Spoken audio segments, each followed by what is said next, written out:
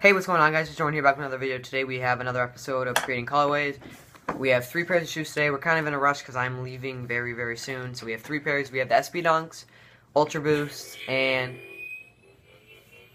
um, Foamposite. So we're going to get right into it.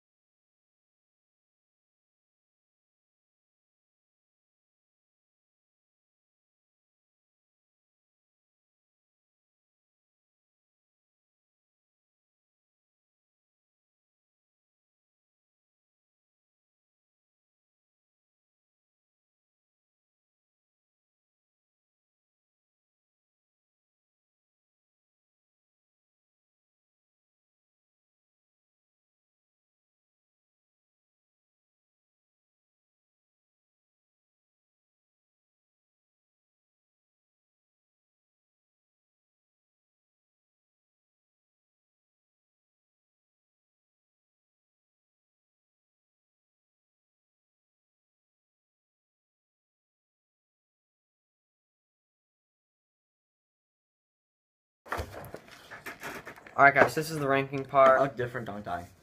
All got a haircut yesterday. Uh, I am ready, so you can go first. I like his snakeskin red, The red snakeskin, part of the snakeskin. the foams. Just black foam. The blue's better than this. and Then there's this. Which those are I, actually. they're, they're nice. Just the thing that the, I don't like it is it still looks weird with the colored pencil over the 3D print. Uh, but fortunately, they don't have normal ultra boost like this. But I wonder, Yeah. what, I wonder what your least ranked one is. I forgot what the other one I did. I know what your last one is.